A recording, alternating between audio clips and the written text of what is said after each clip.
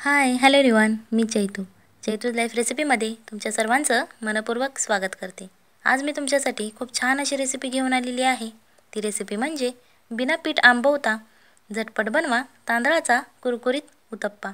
ही खूप सोपी रेसिपी आहे झटपट होणारी आहे आणि पीठ आंबवायची काहीच गरज लागत नाही यामध्ये आणि फक्त पाच मिनिटात आपला हॉटेल स्टाईल उत्तप्पा तयार होतो. एकदम मऊ लुसलुशीत आणि कुरकुरीत असा तुम्हाला दिसत असेल बघा इथे.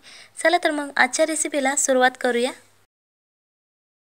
इथे एक मी पातेलं घेतलेलं आहे आणि हे एक वाटी मी तांदळाचं पीठ घेतलेलं आहे.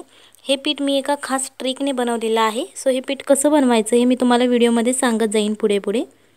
सो आता हे एक वाटी मी तांदळाचं पीठ घेतलेलं आहे. ते आता या पातेल्यामध्ये आपण ओतून घ्यायचं आहे. व्हिडिओ आवडत असेल तर व्हिडिओ लाईक करा आणि जर तुम्ही चॅनलवर नवीन असाल तर चॅनलला सबस्क्राईब करा. जेणेकरून येणाऱ्या नवनवीन व्हिडिओजचे अपडेट तुम्हाला लगेच मिळतील. आता यामध्ये आपण चवीप्रमाणे मीठ टाकायचं आहे. हे तुमच्या आवडीनुसार टाकायचं आहे. ही खूप सोपी रेसिपी आहे. इथं पहिल्यांदा आपण अर्धी वाटी पाणी घ्यायचं आहे. आता हे पाणी आपण या पिठामध्ये घालून घेणार आहोत. आणि आता हे पाणी आणि पीठ छान असं मिक्स करून घ्यायचं आहे. यामध्ये आपण लगेच सगळं पाणी ओतायचं नाही आहे हळूहळू हे पाणी आपण ओतायचं आणि पीठ असं मळायचं आहे. आता तुम्हाला दिसत असेल पाणी सगळं शोषण घेतलेलं आहे पिठाने. आता यामध्ये परत आपण अर्धी वाटी पाणी घ्यायचं आहे. ते आता आपण यामध्ये घालून घेऊयात. आता हे छान असं परत एकदा आपण मिक्स करून घ्यायचं आहे. या पिठातल्या गाठी छान अशा फोडून घ्यायच्या आहेत. अजिबात यामध्ये गाठी नाहीत राहिल्या पाहिजे. आणि ही रेसिपी करायला खूप सोपी आहे. जेव्हा आपल्या घरात पाहुणे येतात आणि त्यांना उत्तप्पा खायची इच्छा असते तेव्हा आपण लगेच झटपट बनवू शकतो. आता तुम्हाला दिसत असेल बघा छान अशा मी पिठातल्या गाठी फोडून घेतलेल्या आहेत. आणि हे पीठ बनवायची सुद्धा पद्धत खूप सोपी आहे झटपट होणारी आहे. आता हे सगळ्या गाठी आपल्या फोडून झालेल्या आहेत. आता यामध्ये आपण बारीक चिरलेले कांदा घ्यायचा आहे. जर तुम्हाला जाडसर चिरलेला आवडत असेल तर तुम्ही जाडसर चिरलेला घेतला तरीही चालेल.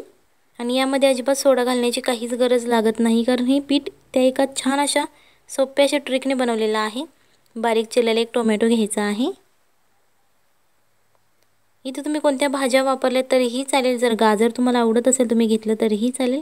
कापलेली कांद्याची पात घ्यायची आहे आणि ही मी हिरवी मिरची घेतलेली आहे. या मी दोन ते तीन हिरव्या मिरच्या घेतलेल्या आहेत आणि त्या बारीक अशा चिरून घेतलेल्या आहेत. आता हे सगळे पदार्थ आपले घालून झालेले आहेत. आता हे छान असे आपण मिक्स करून घेणार आहोत जेणेकरून हे सगळं जे आपण या पिठामध्ये मीठ टाकलेलं आहे ते सगळं आपल्या भाज्यांना लागलं जाईल आणि पिठालाही. आता तुम्हाला दिसत असेल बघा. छान असं आपलं पीठ मिक्स करून झालेलं आहे. तुम्हाला दिसत असेल बघा कन्सिस्टन्सी आत्ताच. अशा प्रकारे हे पीठ मळून घ्यायचं आहे. आता हा मी तीन ते चार कढीपत्त्याची पानं घेतलेली आहेत. ती छान अशी यामध्ये घ्यायची आहेत तुम्ही चुरून टाकली तरीही चालेल. छान असा वास येतो कढीपत्त्याचा. त्याच्यामुळे आपण ही पानं घेतलेली आहेत. आता याच्यामध्ये आपण अर्धी वाटी पाणी घ्यायचं आहे. आता इथे तुम्हाला पाण्याचं प्रमाण लक्षात ठेवायचं आहे. जर तुम्ही तांदळाचं एक वाटी पीठ घेतलं असेल तरी इथे तुम्हाला दीड वाटी पाणी लागतं. आता हे शेवटला आपण अर्धी वाटी पाणी टाकलेलं आहे. आता हे छान असं मिक्स करून घ्यायचं आहे. आणि ही रेसिपी करायला खूप सोपी आहे. क्रिस्पी असा उत्तप्पा तयार होतो. ज्याप्रमाणे आपण हॉटेलमध्ये खातो उत्तप्पा आणि याची चव आंबटही लागते बिना आंब होता. हे हे एक विशेष आहे या पिठाचं. आता तुम्हाला दिसत असेल छान असं मिक्स करून झालेलं आहे. हा मी नॉनस्टिकचा तवा घेतलेला आहे. याच्यावरती आता मी एक चमचा तेल घातलेला आहे. सुरुवातीला नॉनस्टिकच्या तव्यावरती एक चमचा तेल घातलं तर चालेल. आणि परत जर तुम्ही उत्तप्पे करत असाल तर परत तेल घालायची काहीच गरज लागत नाही. कारण ते तेल नॉनस्टिकच्या तव्याला चिकटलेलं असतं. फक्त सुरुवातीला पहिला उत्तप्पा करताना तेल घालायचं आहे. आता हे पीठ घ्यायचं आहे आणि हे बरोबर असं मध्यभागी टाकायचं आहे. जर तुम्हाला मोठा उत्तप्पा करायचा असेल तर तुम्ही स्प्रेड करून घेतलं तरीही चालेल. बट आज आपण इथं स्मॉल साईजचे उत्तप्पे करणार आहोत. कारण ते दिसायला खूप छान दिसत आणि लगेच क्रिस्पी होतात. आता हे आपलं पीठ स्प्रेड करून झालेलं आहे. आता चारी बाजूने आपण हे असं तेल टाकायचं आहे थोडंसं. जास्तही नाही टाकायचं कारण हा नॉनस्टिकचा तवा आहे. आता हे छान असं आपण एका बाजूने ह्याला फ्राय होऊन देणार आहोत. आता मी तुम्हाला सांगते हे पीठ मी कसं बनवलेलं आहे. तांदूळ घ्यायचे ते चार ते पाच तासासाठी भिजवत ठेवायचे त्याच्यानंतर ते धुवून घ्यायचे स्वच्छ पाण्याने आणि ते फॅनखाली वाळत ठेवायचे एक ते दोन तासासाठी. आणि छान असे वाळल्यानंतर ते तुम्ही मिक्सरमध्ये बारीक करू शकता म्हणजेच मिक्सरमध्ये पीठ करून घेऊ शकता किंवा तुम्ही गिरणीवरून दळून आणलं तरीही चालेल. अशा प्रकारे हे तांदळाचं पीठ आपण करून घ्यायचं आहे. तसेल एका बाजूने छान असं फ्राय झालेला आहे. आता तो आपण पलटी करून घेतलेला आहे.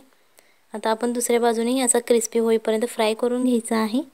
झटपट होणारी उत्तप्पे आहे ती आकारही छोटा आहे आणि लगेच ते भाजले जातात. त्याच्यामुळे अशा प्रकारचे तुम्ही उत्तप्पे तुमच्या घरी करू शकता.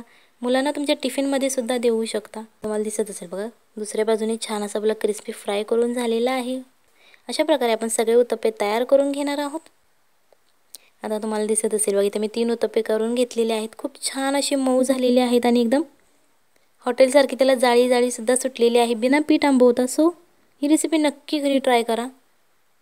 आणि आपल्या फॅमिलीला खाऊ घाला आणि तुम्हीही खा आणि मग मला कमेंटमध्ये सांगा कशी झाली ती. कारण खूप छान अशी मऊसुद्धा झालेली आहेत आणि क्रिस्पी अशी झालेली आहे ही रेसिपी नक्की घरी ट्राय करा आपल्या फॅमिलीला खाऊ घाला आणि मग मला कमेंटमध्ये सांगा कशी झाली होती. मग भेटूयात पुढच्या रेसिपीमध्ये तोपर्यंत बाय बाय टाटा.